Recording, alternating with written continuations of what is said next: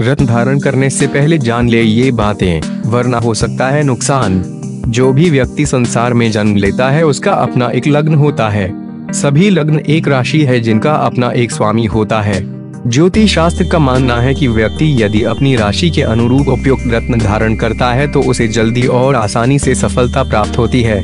किस राशि के साथ कौन सा रत्न उपयुक्त है, उसके विषय में ज्योतिष शास्त्र का निम्न कथन है। मेष राशि इस राशि वालों को मूँगा रेड कॉर्नल गार्नेट गार्नेट या रेड डेजेट रेड एगट पहनने की सलाह दी जाती है। वृष राशि इस लग्न व्यक्तियों को हीरा diamond amber amber opal opal फिरोजा तोड़काज धारण करने की सलाह दी जाती है। मिथुन राशि इस लग्न के व्यक्ति को पना emerald jade jade peridot peridot पहनना लाभदायक होता है।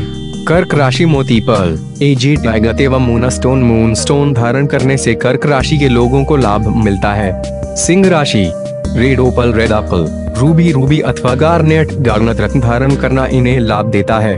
कन्या राशि, इस राशि के व्यक्ति को पना एमरल्ड पेरीडोट पेरीडोट ओनेक्स तानेक्स अथवा फिरोजा तोकाज धारण करना चाहिए। तुला राशि opal opal blue diamond blue diamond स्फटिक crystals blue topaz blue topaz इस राशि के लिए शुभ रत्न होता है। वृश्चिक राशि, इन्हें टाइगर आई टाइगर आय इंद्र गोप अथवा मूँगा रेड कॉरल धारण करना चाहिए।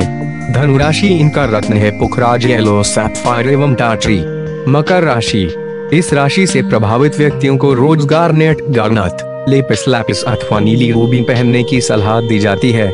कुंभ राशि, इस राशि का रत्न है। नीलम ब्लू सैपफायर लेपिस और नीली मीन राशि इनका रत्न है पुखराज येलो सैपफायर एवं टाटरी